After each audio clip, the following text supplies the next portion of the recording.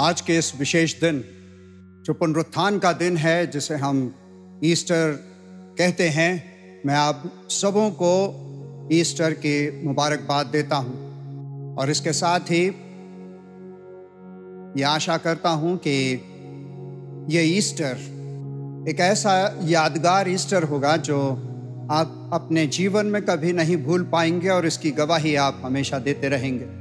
मैं शुक्रगुजार हूँ मैंग डेविड का, आशीष दीन का, जिन्होंने कि इस इस वीडियो को बनाया, मेहनत करी, टाइम दिया, अपनी नींद की सेक्रीफाइस दी। तब ये वीडियो बन सका और परमेश्वर का संदेश आम संडे के रोज़, गुड फ्राइडे के रोज़ और ईस्टर के रोज़ आप तक पहुँच सका है। मैं इसी के साथ साथ Mr Manish David, Mrs Monica David, Mrs Dean को भी शुक्र का शुक्रगुजार हूँ जिन्होंने कि अपना, अपने बच्चों को इस काम के लिए दिया। खुद भी लगे रहे और इन सब के टीम वर्क ने, हम सब के टीम वर्क ने इस वीडियो को तैयार किया। मैं प्रभु को धन्यवाद देता हूँ इन परिवारों के लिए, इन बच्चों के लिए, जिन्होंने कि ये मेहनत करी और इस वीडियो को आप तक पहुँचाया है। हम प्रार्थना करें। एक बार फिर प्यारे प्रभु तो अपने बंदे के होठों को अपनी वेदी के अंगारे से छू। ताकि मैं तेरे वचन बोल सकूँ। आमीन। आज का बाइबल पार्ट जो पाया जाता है, यहुन्ना रचित सुसमाचार, उसका बीसवां अध्याय और उसकी ग्यारह से सोलह आयत में, जहाँ यूँ लिखा है, परंतु मरियम रोती हुई कब्र के पास ही बाहर खड़ी रही और रोते रोते कब्र की ओर झुककर दो स्वर्गदूतों को उज्जवल वस्त्र पहने हुए, एक को सिराने, दूसरे को पैताने बैठा देखा, जहाँ यीशु की लोथ पड़ी थी। उन्होंने उससे कहा, हे नारी, तू क्यों रोती है? उसने उनसे कहा, वे मेरे प्रभु को उठा ले गए, और मैं नहीं जानती कि उसे कहाँ रखा है। यह कहकर वो पीछे फिरी, और यीशु को खड़ा देखकर और ना पहचाना कि वो यशु है। यशु ने उससे कहा, हे नारी, तू क्यों रोती है? किसको ढूंढती है? उसने माली समझकर उससे कहा, हे महाराज, यदि तूने उसे उठा लिया है तो मुझे कह दे कि उसे कहाँ रखा है और मैं उसे ले जाऊँगी। यीशु ने उससे कहा, मरियम। उसने पीछे फिरकर उससे इब्रानी में कहा रब्बुनी। अर्थात, हे गुरु, परमेश्वर अपने वचन के पढ़े और सुने जाने पर बरकत दे। यहाँ पर हम देखते हैं कि मरियम मगदलिनी, जो गलगता पर आखिरी औरत थी, वहाँ से जाने पर और कब्र पर वो पहली औरत थी जो आई थी।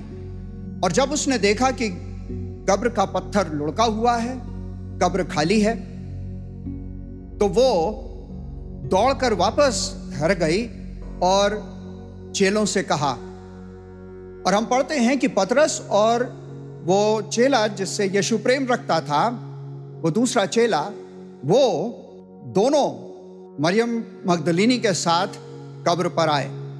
कब्र को खाली देखा और उन्होंने विश्वास किया कि यीशु वहाँ नहीं है, वो जी उठा है और लिखा है कि वो तो वापस अपने घर चले गए।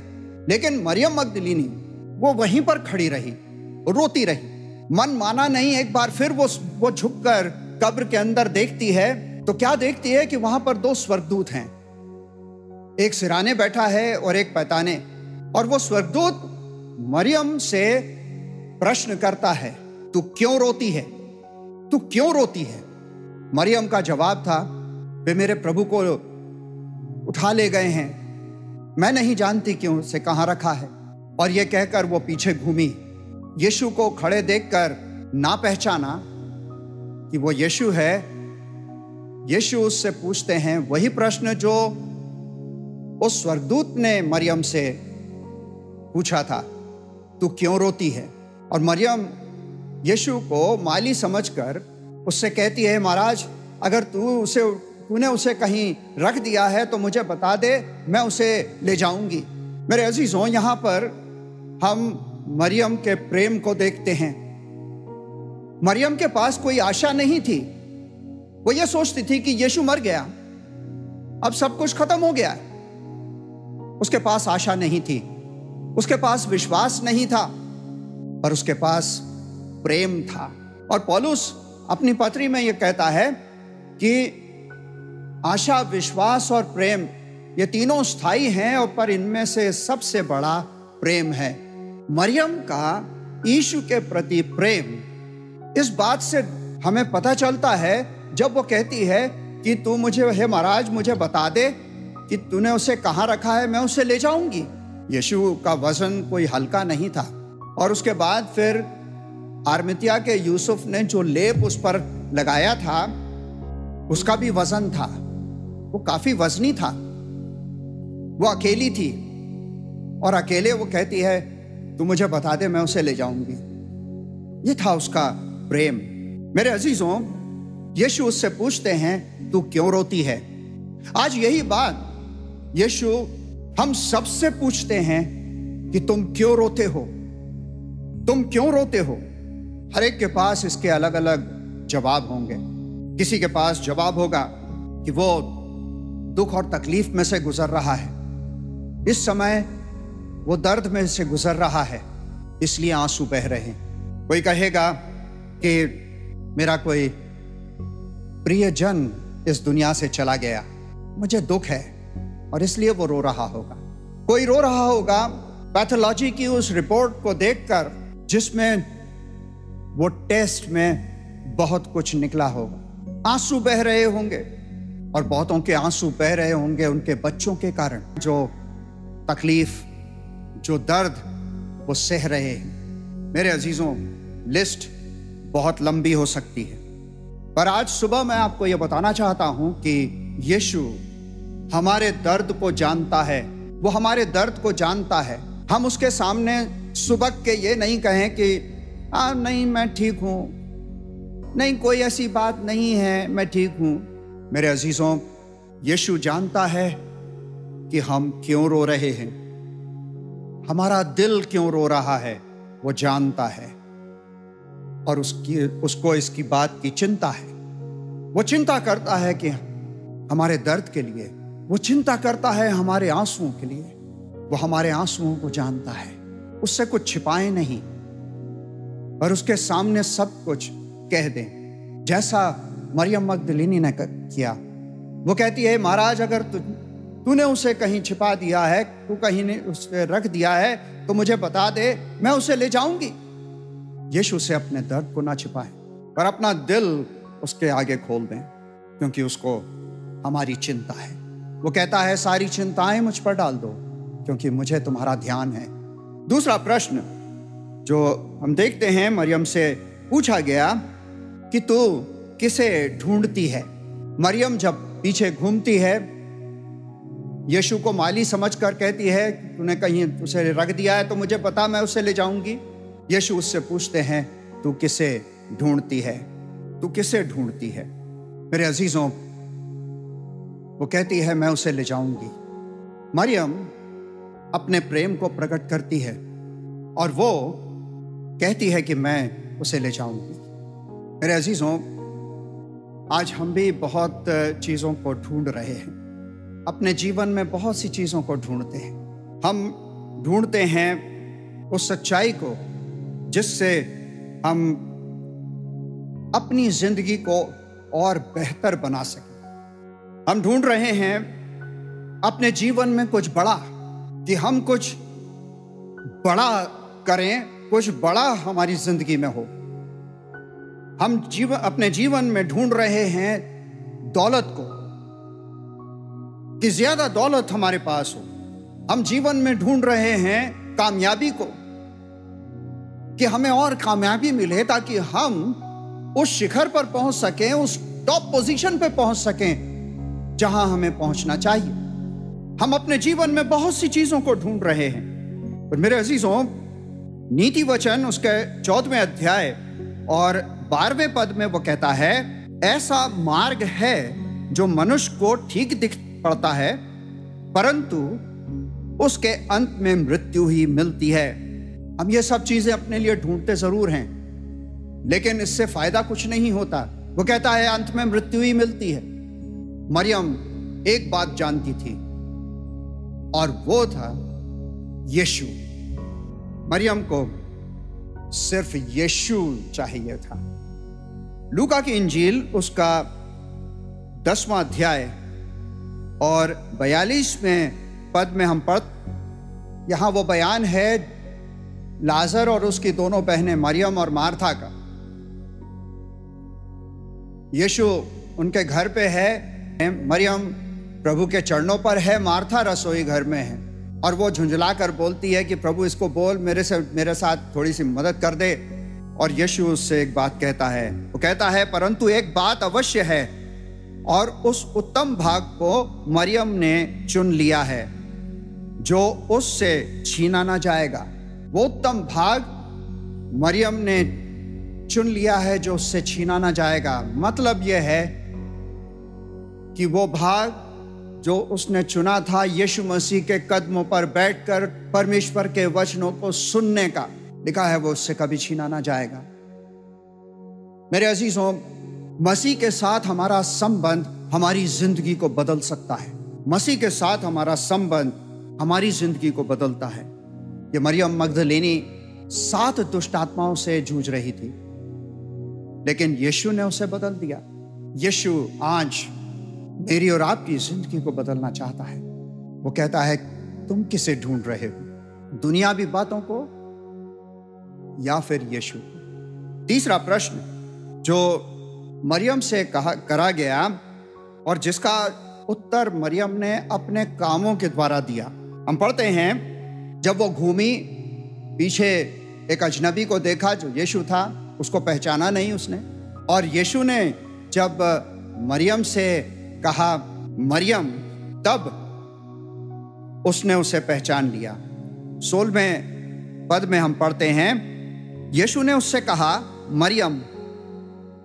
उसने पीछे फिरकर उससे इब्रानी में कहा, रब्बूनी, अर्थात, हे गुरु।